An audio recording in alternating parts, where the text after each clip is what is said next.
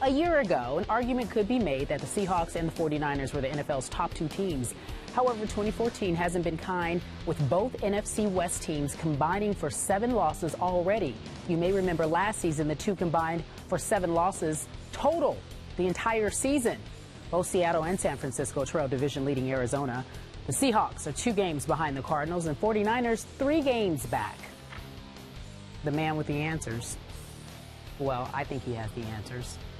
Coach Herm Edwards joins Mm. us at the desk. Now, Coach, I, I have to talk to you about this because Talk I, to me. I asked you this morning. I said, "Will the Seahawks miss the playoffs?" And you said there was a 50-50 chance. I think you might have been a more bullish on that at one point. No? No, it's 50-50, and you look at their schedule, uh, it's daunting. Uh, they play five division opponents still left. Uh, and, they're a team right now is kind of really lost their identity a little bit. Similar to San Francisco, we'll talk about them in a minute. When, when you think about how they won football games, a defense that took the ball away, didn't allow a lot of points, uh, really great on third down, could sack the quarterback. They lost some players. That has hurt them. Golden Tate. Remember that name? Golden Tate was a guy, when you watched him last year, made a bunch of explosive plays for him. You don't see that in this offense right now. Percy Harvin was supposed to be the guy. By the way, Percy Harvin's no longer there. He He's at the. Jets, He yeah. And so now you look at this team, they're trying to find themselves. They've got a tough road to hoe. They're 50 50 right now. They're right on that line of, they're, they're going to need to win 10 games to get in the playoffs. Yes. I'm talking about just getting the playoffs. I mean, talking about winning the division. Okay. Arizona's two games up on everybody in that division, three games up on San Francisco. You don't think they could win 10 games? It's hard. It's a hard league. Remember, they won eight games last year by seven points or less. Hmm.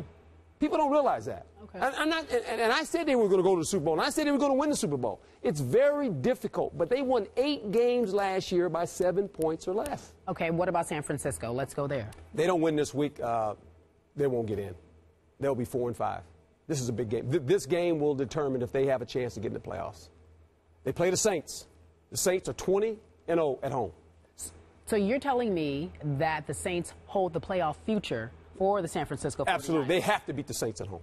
This is a must win. All right. You talked about earlier in the season, they got to beat the Saints at home. They have to do that. All right, Skip Bayless, he's more bullish on the 49ers not necessarily making the playoffs, Yeah. especially if they don't win at, uh, at New Orleans. However, 50-50 with the Seahawks. Your take?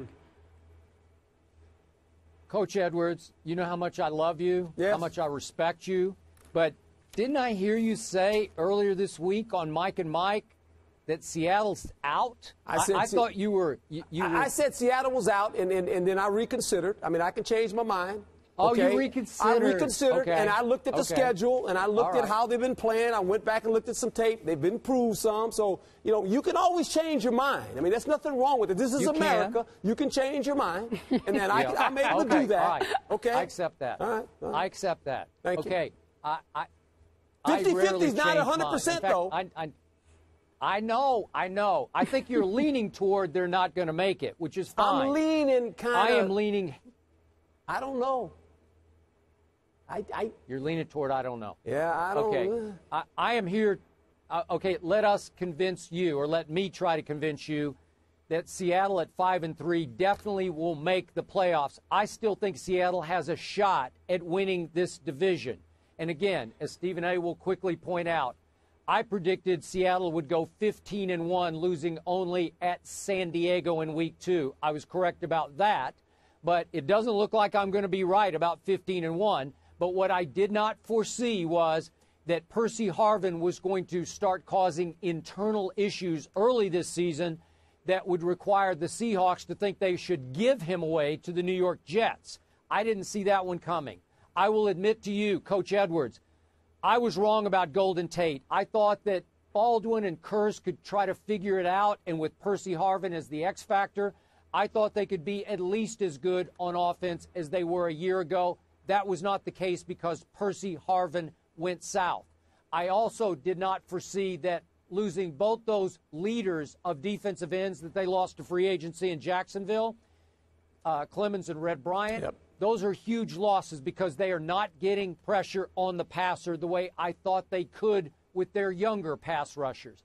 That all adds up to it's going. You're right. The schedule is brutal, but I think they could.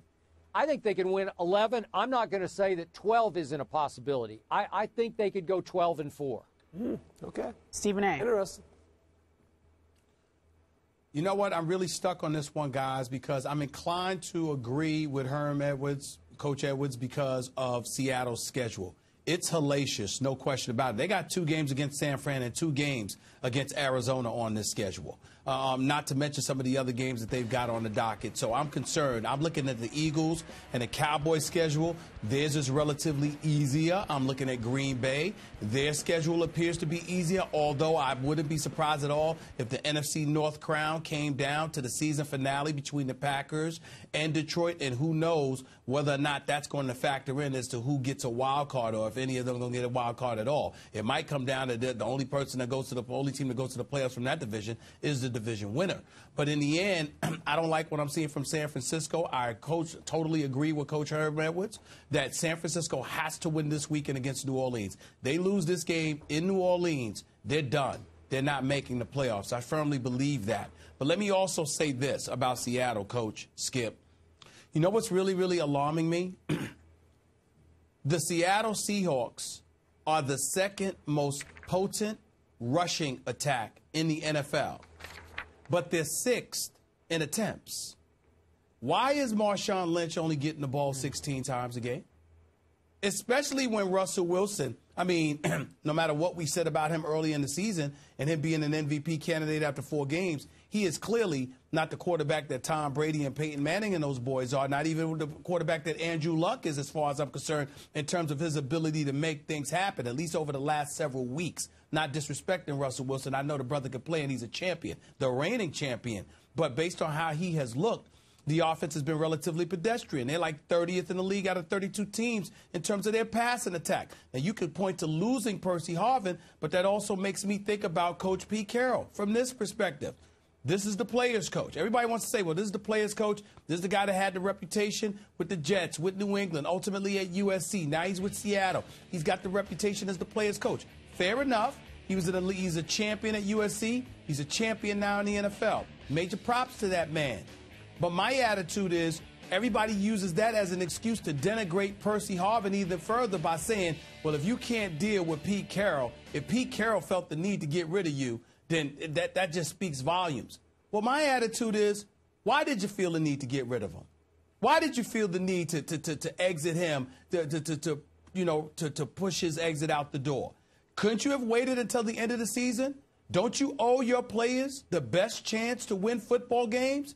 You let go of Doug Baldwin. I mean, you, you, I mean, I'm sorry, Golden Tate. You let him get away to Detroit, and now Percy Harvin's gone. That's why I don't knock Skip. Skip, you say I'm going to bring it up, but I rarely bring up the fact that you said they were going to go 15 and one because I understand some of the changes were very, very Every unpredictable, okay. and dare I say, unfortunate. Very unfortunate. There's no excuse for it. So I'm looking at the coach. I'm looking at the quarterback. And I'm even looking at the offensive coordinator, coach, because I don't understand with Ball, with Golden Tate gone and with uh, and, and, and, you know with Percy Harvin now gone, why you're not giving the ball to Marshawn Lynch more? Stephen, you make some great points. And remember this even last year, we talk about Percy Harvin, but really, Percy Harvin, he didn't play. He was hurt. He played up in the Super Bowl, guys. He played in the Super Bowl. And remember this Russell Wilson last year, guys, he threw the ball attempts 407 times, least of any starting quarterback in the National Football League. Least. He threw, he's not a volume passer.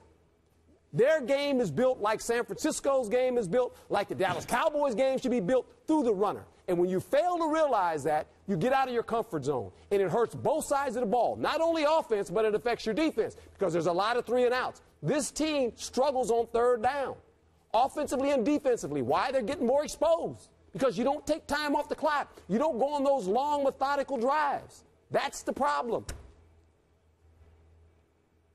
Okay, but but coach, I, I hear you about Russell Wilson. If you make him stay in the pocket, he is five feet ten and three quarter inches tall. He has a hard time just beating you consistently from the pocket. He has to get outside. He has to hurt you with his legs. And I'm okay with I that. I get all that. I'm okay with that. But okay, that's fine. Okay, I get it. But I look down this schedule. So they start off this week with the New York Giants at home. I think they can win that game, and I think they can beat St. Louis at home in the final regular season game. Yes. I'm going to ask you both. Are you really, really that sold on Arizona? Because yardage wise, the defense gives up high passing yards. It, it's funny how they're they're doing it to get to seven and one. I have the utmost respect for the head coach and the defensive coordinator, and the fact that they are creating turnovers and not turning over the ball. But it's a little bit of a flawed seven and one. And what I'm saying is, are you sure that Seattle can't beat them um, maybe twice? I- I- they didn't beat them twice last year. If they Okay, I know Arizona beat them up there at the end of the year last year, but what I'm saying is I'm not sure that Arizona is a juggernaut, and I'm not sure that San Francisco isn't close to, to just mailing in the rest of the year like we're home for the holidays. We got issues with our head coach. We lost in New Orleans. If they do lose this Sunday in New Orleans, they might just they might be pretty vulnerable down the stretch. Could, are you sure that Seattle can't beat those teams uh, four times? They might. All right, gentlemen. They're I- good enough to. I'm going to let Coach respond, guys, but we got to get out of here because we have to hit another segment. Coach, your take. I, I- I think Skip makes a, a great point. Uh, Stephen A. makes a great point. We're going to watch it all unfold. Four weeks from now, we'll have this discussion again, and we'll see where these teams are at. Right. I got a feeling they're going down the path of we know one of them's not getting in. The other one, I'll say it again, 50-50 shot at getting in Seattle. It's America. You can change your mind. Thank you for being here. Good. Thank you. I appreciate that. So, coming up next, folks.